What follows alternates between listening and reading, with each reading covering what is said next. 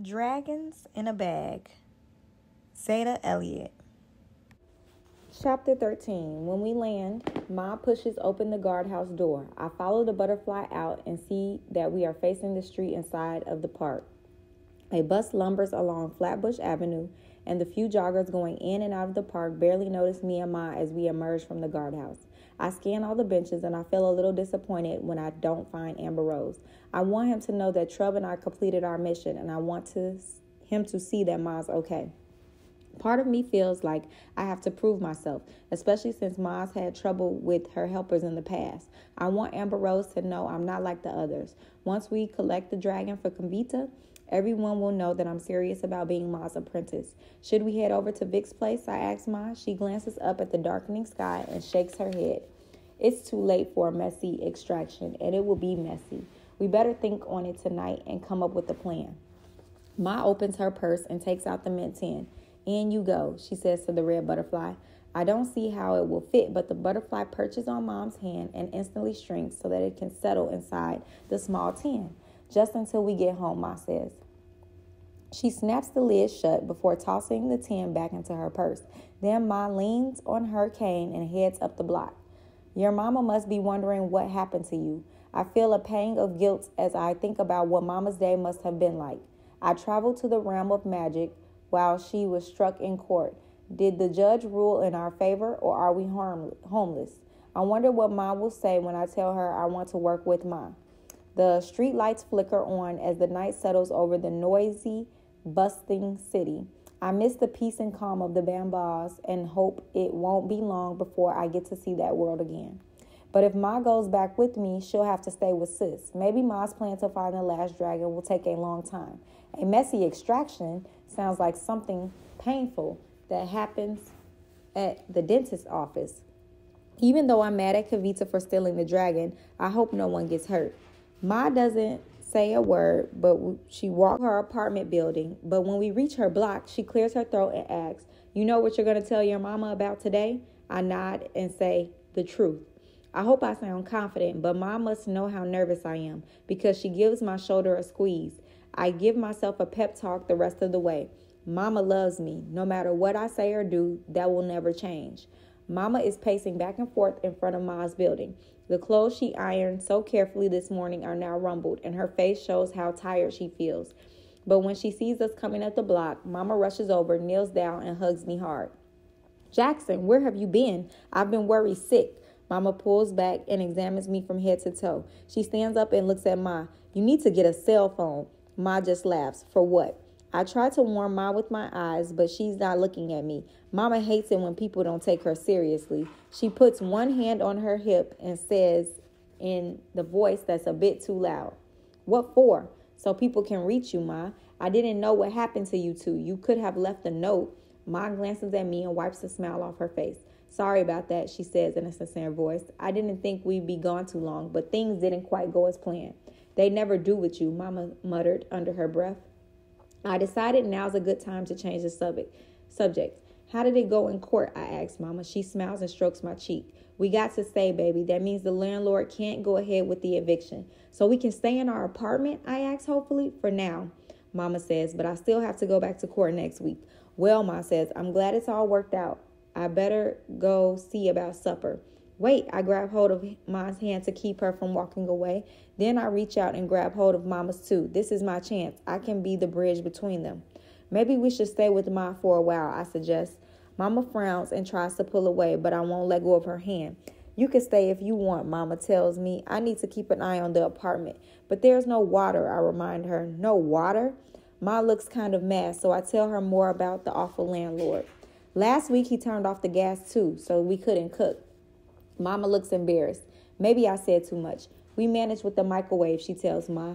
You can't manage without running water, Mom. Ma replies. You better come upstairs. Mama doesn't budge. The judge ordered the landlord to turn the water back on within 48 hours. Ma just grunts. Don't hold your breath.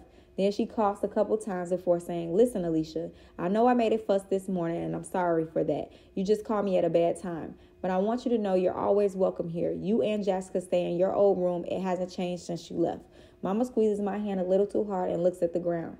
Mama taught me everything I know about manners, so I know it's not polite to ignore an offer of hospitality. Ma tries again. I know things haven't been right between us, but you will always be family to me. That reminds me of something I promised Trub. I pull at mom's arm until she bends low enough so that I can plant a kiss on her cheek. Grandpa says hi, I say quietly. Mama looks at me hard. Who says hi? I swallow and force myself not to look at Ma. If I look at her, she'll think I need help, and I don't. I've already decided I'm not going to lie to Mama. I take a deep breath and say, I met my grandfather today. Mama rolls her lips together. That's what she does when she's trying not to lose her temper and say something she might regret. Mama's lips are sealed, but I also can almost hear her counting to 10. That's what she tells me to do when I get angry. Finally, she opens her mouth and asks, How did that happen? Ma coughs silently, but I need to tell the story on my own. I went to Ma to with Ma to make a delivery today. Ma quickly rolls and unrolls her lips. I can tell she's angry, but not with me. You did, huh? That sounds interesting. Mama talking to me, but still glaring at Ma. I tried to get her eyes back on me. It was, but then we we got separated. And Trub, your father, he came to help me, Ma, and he took me out for a burger. Ma gives me a disapproving frown. So I add, I like him. He's nice. Ma rolls her eyes this time and says, Never trust the first impression, Jax. It takes time to really get to know somebody. True, Ma says, although sometimes you got you just got to go with your gut. Stay out of this, Ma. I guess Ma doesn't hear the warning in Mama's voice because she says, I'm just trying to tell the boy. Mom explodes. I don't need you to tell my son anything. I left him with you for one day and you've already got him mixed up in your your mess.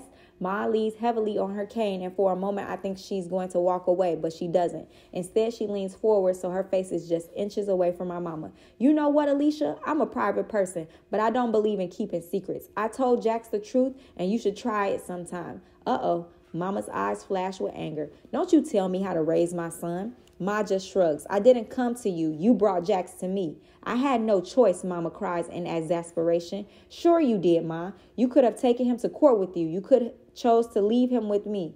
Whatever you like it or not, things are going to be different from now on. What's that supposed to mean? Mama asks. I tug her hand so that Mama looks at me instead of Ma. I decided to become Ma apprentice, I say with a mixture of fear and pride. Ma blinks twice. Mama blinks twice, but says nothing at first. I force myself not to look away, even when I see tears filling up my mom's eyes. Oh, Jax, Mama finally says with a sigh. Then she lets go of my head and sinks it to the steps that lead up to Ma's building. Ma gently peels away my hand from her hand and says, I'm going to start supper. Come on up whenever you're ready. As she climbs the stairs, Ma puts a hand on Mama's shoulder and Mama doesn't respond. I watch Ma go inside her building and then I take a seat next to my mother. Her fingers are laced together and she holds them over her mouth like a net that will catch words she doesn't want me to hear. The tears in Mama's eyes don't fall. After a while, she puts her hands on her knees and says, Where did you go today, Jax? I try to use as few words as possible. First, we went back in time by accident. Then Trub took me to the realm of magic to find Ma.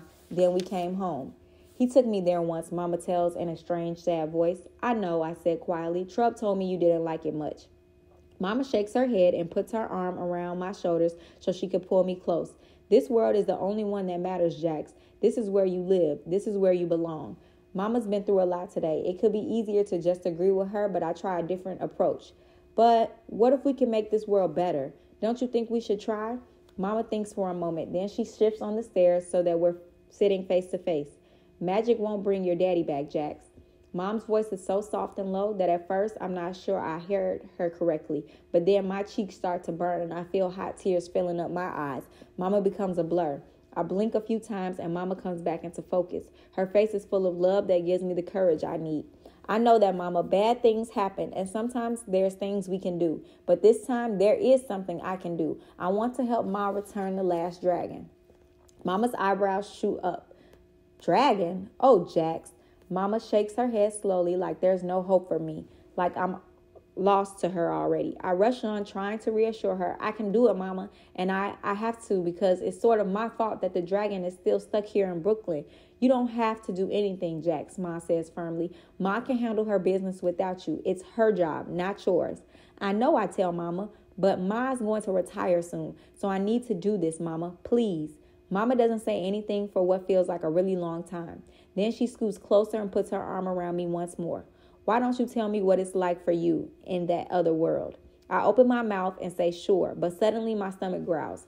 No roars with hunger. Mama laughs and pokes me in the belly. You got a dragon in there? She says with a smirk. I laugh too and clench my empty stomach. Can I tell you about the dragons and the dinosaurs and the babos over supper? Mama kisses me on the forehead and says, Sure. I take Mama's hand and together we go upstairs to join Ma.